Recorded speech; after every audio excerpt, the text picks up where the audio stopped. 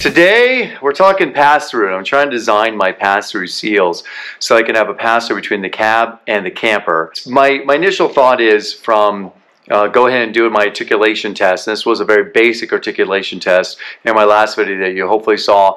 Where I went ahead and jacked up the opposing wheels as high as I could with the jacks that I have, which was nowhere near enough to really stretch the suspension, particularly with it being unloaded. So I don't really know exactly how far or different the cab and the camper are going to twist. All I do know is they're actually twisting more than I expected. And I say more because the subframe, the EarthCruiser subframe that I purchased from them is actually bolted down to the chassis frame at the front here, and that's where it's stationary. It does not pivot at the front. And then it has two pivots at the back, two spring mounts at the back. So more one midway down and one at the rear. And so that allow the chassis frame rails to, of course, flex and pull away from the subframe. You get way the subframe stays straight and level while the chassis rails can go ahead and, and essentially flex and stretch or pull away. And so I figured at the front here, it's not going to move that much. The two aren't going to twist that much from each other because there shouldn't be that much frame twist in the very limited distance. I call it roughly about four to five feet between the front of the chassis rails uh, to here. And of course, the front chassis rails, it really comes down to the front tire, which the front tire to the front of the so with only about this far between the center of the front wheel to the front of the front camper, I figure how much can the frame flex in that, that space, right? Or to about where the the front frame rail or subframe mount is, which is again, is only about two feet or so. It's not far. So I figured it really can't flex so much, but it flexed more than I expected. Only being able to move the wheels, the opposing wheels, each up about three inches. So let's say I have six inches of flex entirely between the front and rear and from side to side. I just wasn't expecting to get about an inch of actual flex here between the cab or twist between the cab and the camper, but I did. So I went ahead and I bought some accordion rubbers, right? And these are accordion rubbers that actually have a press fit fitting on each end. So I figure I can build a basically a, a, square frame, right, and attach these. And I say square frame because that's what I can build. I can't really build a round frame very easily.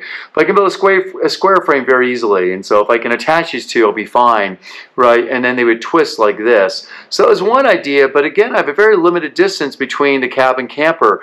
And if you look right here, that limited distance is about really call it just a little more than like the, the width of a fist. So it's not that much space to build for this to compress. It's really not going to accordion like this. Um, it's just going to twist, right? And so I figured this would be enough, but I have to find a way to attach these. And so I figured something like this would work. I also bought another sample here. It looks very similar, just doesn't have quite as much flex. And then I played with a couple other examples. So one that's very uh, a straight example where it would be on something like like this, some some fiberglass angle because fiberglass angle I could glue to the front of this this fiberglass wall, the camper, right? Gluing fiberglass to fiberglass can be incredibly strong. It's light and I need it to be light. The cab flips forward so I can't add a lot of weight. And also this is of course non-conductive. It's electrically insulated for the most part, but most most importantly it's really thermally non-conductive and that's key because I don't want to transfer if I'm creating a wall of that pass-through, I don't want to transfer any heat from the outside to the inside or have condensation build up or even worse, get ice build up and then of course ruin the seal or the movement between the cab and the camper. So I was playing with some of my different ideas, some different uh, rubbers and, and seals like this and, and just some other ideas, uh, again, that are smaller boot and a, a very hard rubber um, such as this one, which doesn't really have much give when it goes this way, which I do need because, again, that cab is going to come forward and it's got to be able to compress. And also, I was worried about the wear and tear of this over time as dust builds up between the two. And this is going to be rubbing as it's driving down the road. And so that, you know, kind of wear and tear. So I'm worried about all those things or thinking about all those things. So I went ahead and said, okay, let me go ahead and build a square pass-through frame on the, the pass-through. And so that's what I'm that's what I'm, I've done. That's what I'm going to talk about in this video. And then I'm talking about why, a little bit how I did that, why I did it that way. And then we're um, going to go ahead and do a real flex test once the, the snow melts away and the dirt isn't just completely muddy as it has been. So I can do a real true flex test outside, really twisting these chassis rails, seeing what this, this chassis can do and how much flex I'm going to get so I can really see if my design will work. Because right now my idea is to essentially create a frame on the back of the camper here and the, the, the cab frame fits between those two with seals in, on both sides that are compressible so that it can move and both sides are going to have this kind of move, you know, this twist between each side and yet still retain a seal and be sealed all the way around from wind and rain and stuff like that. So that's the idea behind that. So let's get into it. And by the way, thank you for watching. Please do subscribe. Please do like, hit the like button if you like this and what I'm sharing. I'm sharing this for you and for your benefit. So it's really there to help you and others out with your pass-through designs or other camper designs and things you're building. So I'm hoping it helps. Do certainly let me know in the comments any thoughts or suggestions or recommendations or ideas for material or ideas of ways to do this so you can help me make sure I'm designing and building something that's really going to work well. Thank you.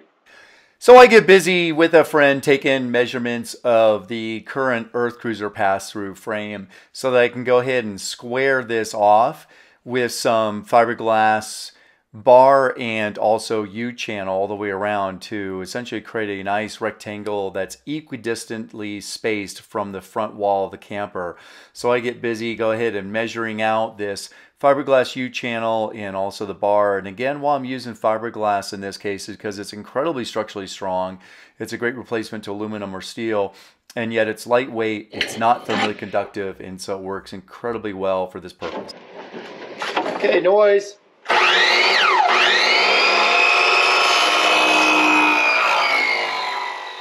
And as you can hear from the motor bogging down with the cutoff wheel and the smoke that you see here, the cutoff wheel does burn it a little bit and does bog down somewhat. A laminate blade or a aluminum blade does cut this actually better.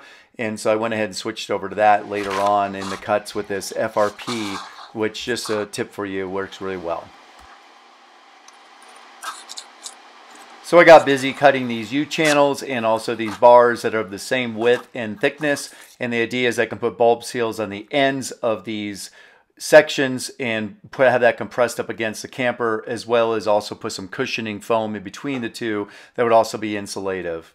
These were then adhered to the EarthCruiser fiberglass pass-through frame with some very strong structural adhesive sealant made for marine applications, so very applicable for any outdoor use and also completely water resistant and so forth.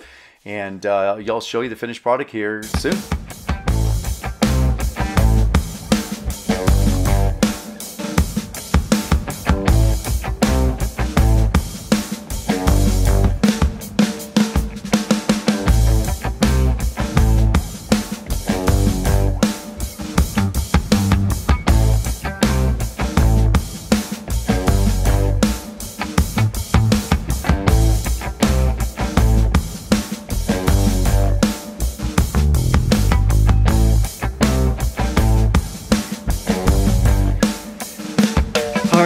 Have I done? What have I built? Well, let's take a little more look here. This is a little more of a detailed look. And here is the frame that's actually been built and glued in. It's incredibly strong. Uh, and it also seals this up and leaves me just a little small gap here between the two. Let's take another look around the other side. So this right here is a little better idea of what I've done. I have a channel on the top.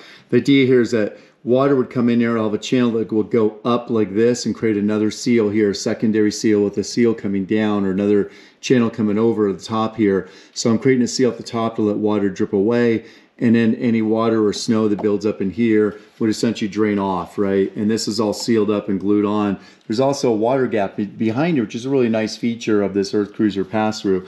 And that water and snow comes off the top of the cab here, um, or that reflects, bounces off the top of the camper uh, body, will then come in this channel and then go ahead and run off. Um, so that's the idea behind this. And this creates me, gives me structure that I can attach seals and things to. So that's the idea behind this. It is very strong. I need to figure out again how to really make this seal up well. My idea was again to put kind of a U channel on the front of the camper here that would go around the inside and the outside with some really soft compressible foam on in both sides of that and then a seals on the inside here, a bulb seal on the inside of this and also some 90 degree seals that would press up against both sides inside and outside here. So I have a, initial seal of, called a primary seal um, some insulation, a secondary seal, some other insulation, and even a tertiary seal on the inside. So be pretty much in the water would have to, of course, pass in the air. It'd have to pass a, a complete complete U-turn, a 180. So it'd be pretty impossible, I think, for any water or air or dirt really to get through. So that's the idea behind this. I am a little worried that there's going to be more flex in this chassis than I'm anticipating from what I've already seen in my initial flex test. And so basically lifting the opposing wheels up each an inch or three inches and getting an inch of movement at the between the twist between the cab and camper up at the front here means I'm getting basically an inch of movement for six inches of frame frame flex.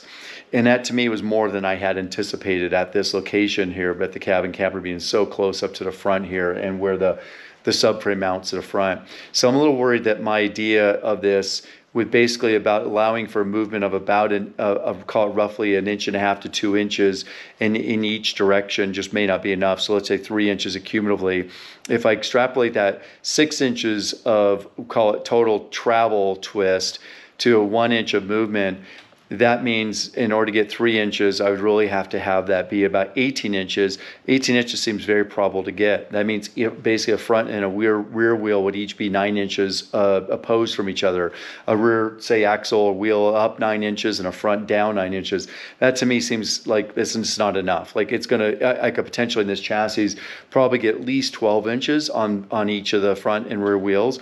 And if I'm getting 12 inches, that really extrapolates about four inches of movement here or more I think that that's very probable, and I think there's even possibly more. So I think I'm going to have to have something a different set of maybe a solid frame, more of a a much wider frame, or in order to not shrink down the size of the pass through, or a flexible frame. And so that's the route I'm leaning towards. But I'm going to wait until I do this true outdoor frame twist articulation test. We'll share in a future video when I do that and share it with you so you can see.